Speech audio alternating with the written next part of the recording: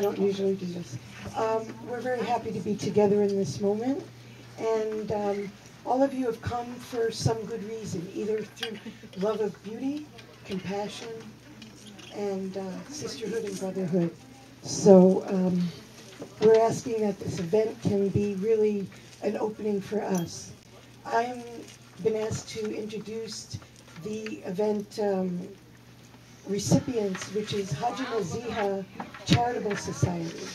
Uh, some of us here have a spiritual teacher that we've uh, studied with for many years, who's now passed, may Allah bless him. And he was loved and followed by millions of people in the world during his lifetime. And he instituted certain projects and initiatives to help those who are in the most need around the world. So people out of love for him and following his guidance on the ground have been doing humanitarian relief for about 20 years now. And when he passed, his daughter, uh, our beloved um, teacher and role model, is uh, has taken up this work. So in wanting to help her, we're making an effort here in New Mexico. So I hope that you will come out again. If anyone would like to come to our events, we'll have a sheet you can sign up with. We'll let you know when we're doing anything related to this charity.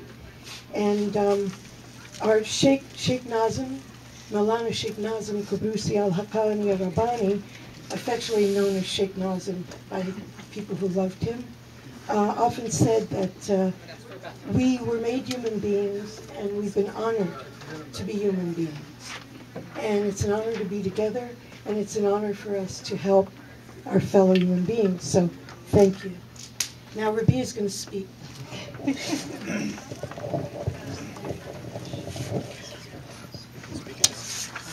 Assalamu alaikum. Thank you so much, um, everybody who's come today to, to share this beautiful uh, event with us. Um, just a, a few um, housekeeping things we'd like to mention. Um, for the integrity of our, our presentation for you, we're asking you that you turn off your mobile devices and put them away and just be with us in your, in your hearts.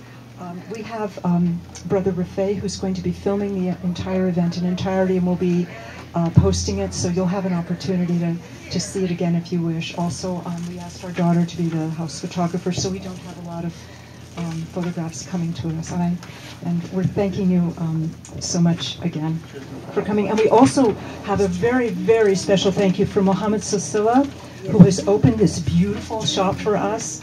Mohammed, please. this wonderful man has opened a space for us. And you might want to get to know him better. He's a wonderful member of the Santa Fe community. Thank you so much.